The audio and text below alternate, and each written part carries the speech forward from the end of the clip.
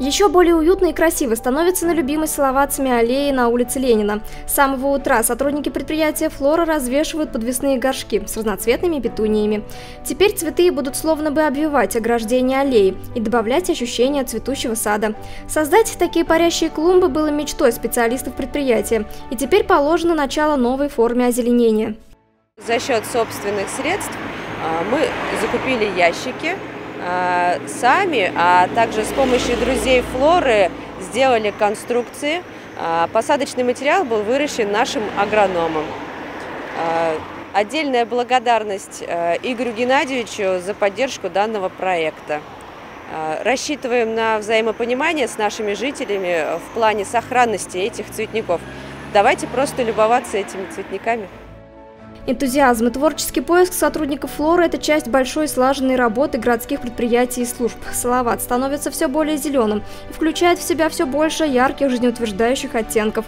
За нынешний год уже высажено 70 тысяч цветов. Это петунии, бархатцы, виолы, каны и другие. Естественными стенами и фильтром воздухом являются городские деревья. В нынешнем году в Салавате высажено больше тысячи вечно зеленых пушистых елей, сосен и пихт, десятки рябин и лип. Благоустройство затрагивает самые разные области.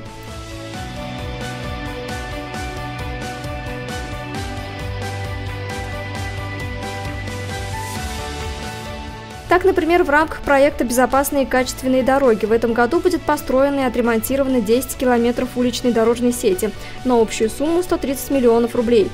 Средства выделяются бюджетами различных уровней. Ямочным ремонтом будет охвачено 15 тысяч квадратных метров полотна на сумму 12,5 миллионов рублей. Активно проводится ремонт наружного освещения. Нынешний год подарит горожанам обновление.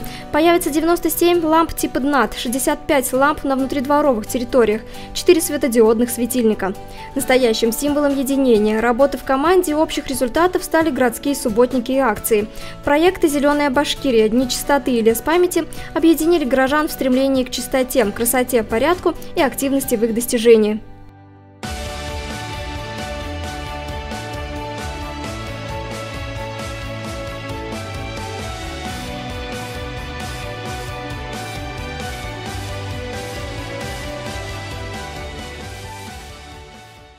Это делаем для себя, чтобы наши дети здесь играли, и наши взрослые мамы, бабушки, дедушки сидели, отдыхали здесь.